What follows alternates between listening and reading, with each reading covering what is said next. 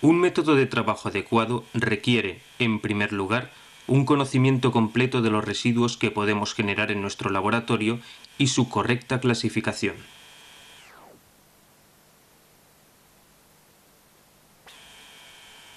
La principal característica de los residuos de los laboratorios es que se generan en pequeñas cantidades y, salvo en parques tecnológicos, con gran dispersión geográfica.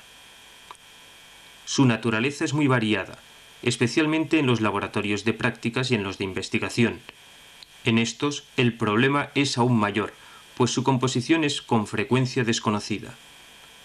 Los laboratorios dedicados a un tipo de trabajo específico, como es el caso de los de control de calidad de una determinada producción, presentan, en cambio, residuos de composición prácticamente constante.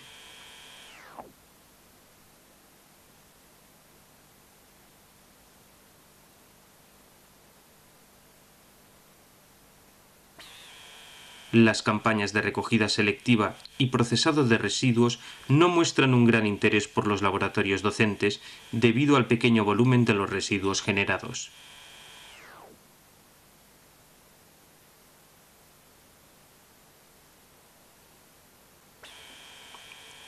Como ya hemos dicho, la clasificación de los residuos es el primer paso para su correcta gestión.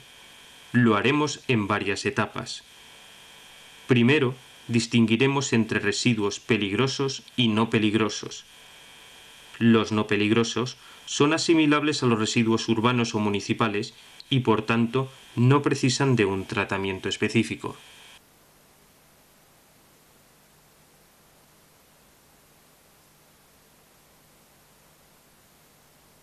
Los peligrosos podemos agruparlos en varias categorías. Tóxicos, nocivos, corrosivos, irritantes, combustibles, explosivos, gases, biológicos y radiactivos.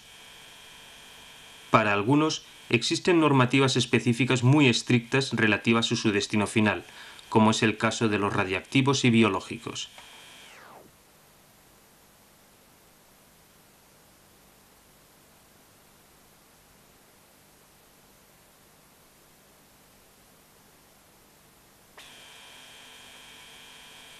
De forma genérica, los residuos de los laboratorios químicos se caracterizan por tres factores.